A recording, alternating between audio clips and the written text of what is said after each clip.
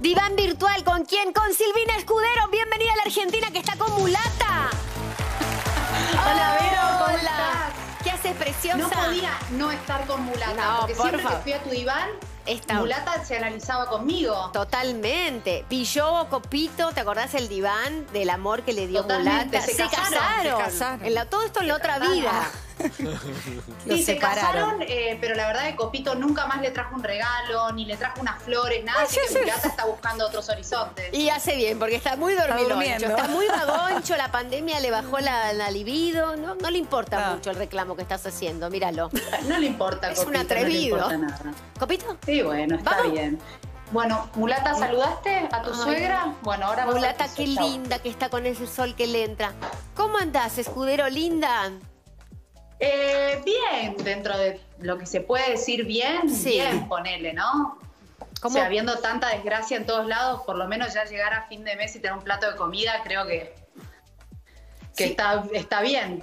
Pero sin duda, es- está muy bien. ¿Y cómo hicieron para reestructurarse con las escuelas? Este, porque el ingreso que vos tenías era con los alumnos también, y tu hermana que tiene una escuela bárbara, que hace un montón por los chicos y las chicas, todo eso ha quedado detenido. Ahora hay clases vía Zoom. ¿Cómo se, se readaptó el negocio a la sí, pandemia? la realidad es que cuando empezó todo esto, con Vanina eh, tuvimos innumerables reuniones Sí. para poder salir adelante y resurgir con, las escuel- con la escuela, pero la realidad es que el 1% de los alumnos quería seguir online con las Sí. clases, también los profesores, también, o sea, no, no fue un- un- una adaptación rápida eh, y tuvimos que cerrar, obviamente que tuvimos que cerrar como todas las escuelas de danza, por lo menos mis colegas que yo estuve hablando, la mayoría han cerrado, algunos en mayo, otros en junio, otros en julio. Digo, para poder volver realmente a bailar en una escuela de danzas, sí o sí tiene que haber una vacuna, porque se requieren de por lo menos 30 alumnos en un Claro. espacio cerrado con un profesor. Totalmente. es algo hoy imposible vivir. ¿Y cómo eh, mentalmente cómo te adaptaste a eso también? Porque hay que duelar un proyecto de tanto tiempo, tan, con tanta ilusión. No quiere decir que no pueda volver a volver en, en algún momento, pero por ahora eso queda en pausa. eh, lo económico, el tiempo. Ya te digo, yo soy una persona muy positiva y siempre trato de rescatar la luz en, en el, la- en el final del túnel, Sí. ¿viste? Eh, obvio que lloré mucho al principio de la pandemia porque ya proyecté esto, ya, me, ya, ya en marzo entendí que esto iba a Sí. acompañarnos por lo menos durante todo el año, entendí que iba a ser difícil porque si había un virus, ¿cómo se iba a erradicar de un día para el otro? O sea, entendí que esto iba a durar meses eh, y traté de adaptarme y tratar y traté de, de buscar lo positivo. Eh, y lo positivo es todo el cariño de alumnos que se han contactado, eh, agradeciendo los años vividos en Danzas Escudero, eh, agradeciendo el cariño, el respeto, el amor, el profesionalismo. No sé, la verdad que ustedes lo saben, para, para Vanini y para mí, Danzas Escudero era como Sí, un hijo, lo- vida, lo, claro, lo sí, vivimos sí. así. eh, y fue con mucho esfuerzo, mucha entrega, mucho tiempo, dinero. Pero bueno, eh, la realidad es que nosotros cerramos nuestra empresa y podemos seguir comiendo. Hay gente que cerró su empresa y no puede comer, entonces desde ese lado, junto con mi novio y, a ve- y vecinos, Sí. estamos haciendo un montón, no sé, compramos leche en polvo, lo llevamos a lugares. Es momento de ayudar, es así, no, no, no nos podemos sentar a quejarnos porque el mundo está paralizado.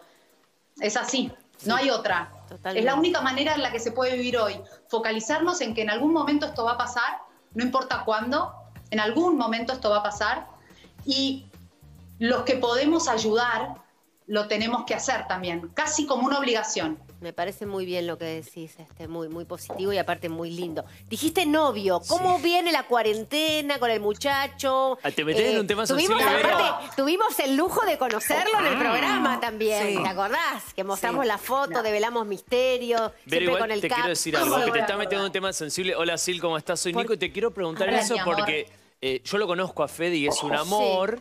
Eh, ella siempre lo mantuvo en el perfil bajo, Sí. en relación, estuvieron experimentando la convivencia, pero sé que tuvieron una pequeña crisis que durante tres semanas por lo menos durmieron separados, ahora en cuarentena hace Sí, poco. sí. Opa, ¿Cómo estar en ese sentido y, Ahora. y cómo surfearon esa Sí, crisis? fue así.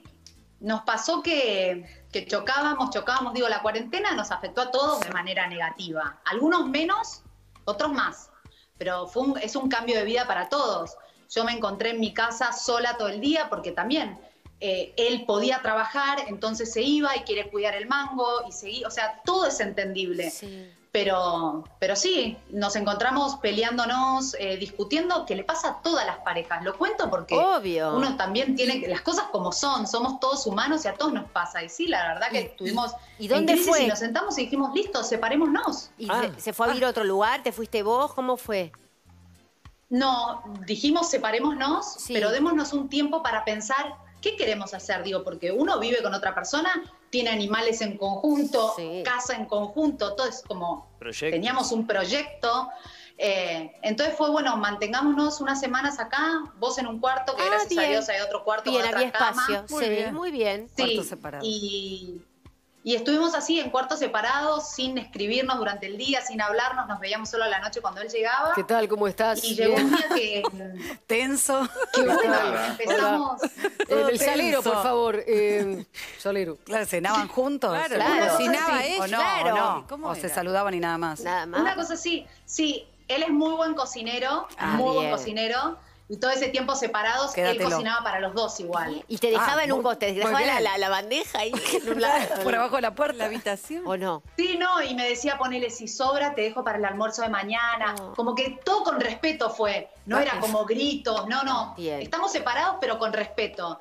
Me y gusta. un día como que se me acercó hablándome desde otro lugar, con otro entendimiento, haciendo como nuevas promesas y, y nuevas maneras para ver cómo podíamos adaptarnos a poder seguir y Sí. seguir apostando en la relación con cambios. Tenía que ser con cambios, porque si uno sigue haciendo lo mismo, el resultado va a ser el mismo. Bien.